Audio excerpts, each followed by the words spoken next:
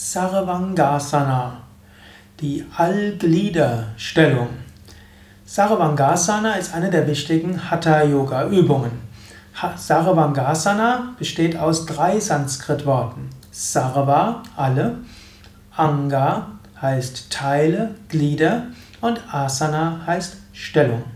Sarvangasana ist deshalb die Stellung aller Glieder, aller Teile auch und bezieht sich insbesondere auf den Schulterstand.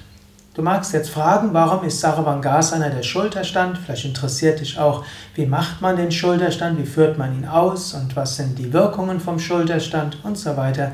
Das ist jetzt nicht Thema dieses Vortrags. Wenn du da mehr wissen willst, dann geh auf die Internetseite www.yoga-vidya.de, gib dort ein Schulterstand oder Sarvangasana. Dort findest du Übungsanleitungen und Bilder und Texte und Audios und Videos zum Schulterstand. Hier geht es mehr um Sanskrit-Bedeutung. Sarva, alles, alle, Anga, Teile, Asana, Stellung. Und der Schulterstein heißt Sarvangasana, weil diese Stellung auf alle Teile wirkt. Warum wirkt sie auf alle Teile? Zum einen im Schulterstand ist das Kinn zur Brust und so wird die Schilddrüse massiert. Und die Schilddrüse ist eine der wichtigsten Hormondrüsen, hat Auswirkungen auf den ganzen Körper.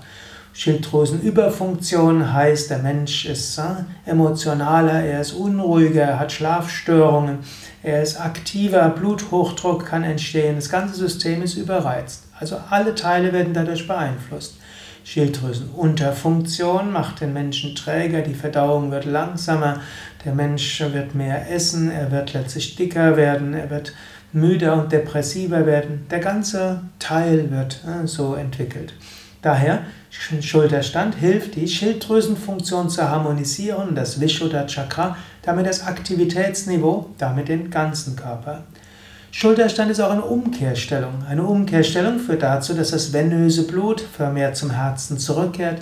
Wenn das venöse Blut vermehrt zum Herzen zurückkommt, dann wird das Herz sich besser zusammenziehen, die Fließgeschwindigkeit des Blutes steigt und so wirkt Sarvangasana verjüngend für den ganzen Körper. Du bist entspannt und gleichzeitig fließt dein Blut schneller. Das führt zu einer verbesserten Nährstoffversorgung aller Zelle und Organe und dazu, dass die verschiedenen ja, Abfallprodukte besser abgebaut werden. Auch über den Kreislaufstellung aller Teile. Sarvangasana hat auch mehr mystische Bedeutung. Im Savangasana ist Umkehrstellung, ist der Bauch oben, Sonnenenergie oben, Mondenergie Stirn ist unten. Indem du die natürliche Lage von Sonne und Mond umkehrst, hat das eine große Auswirkung auf Sonnen- und Mondenergie im ganzen Körper. Sonnenenergie wird stärker, Mondenergie wird stärker, beide werden stärker und kommen ins Gleichgewicht. Dadurch wird eben Sonnenenergie stärker, Aktivitätsfähigkeit und die Fähigkeit, etwas zu bewirken, Selbstvertrauen, Mut, inneres Feuer, alles wird stärker, wenn die Sonnenenergie stärker wird. Gleichzeitig wird die Mondenergie im Schulterstand stärker. Das ist die Fähigkeit zur Regeneration, die Fähigkeit zur, zur Selbstheilung des Körpers, die Fähigkeit zur Intuition, die Fähigkeit, andere zu erfüllen und zu spüren. Wenn beides stärker wird, Sonnen- und Mondenergie, dann hat das eine Auswirkung auf alle Teile. Auch ein Grund, Sarvangasana, Stellung aller Teile. Es gibt ja noch viel darüber zu sagen. Schaue einfach nach auf unseren Internetseiten www.yoga-vidya.de.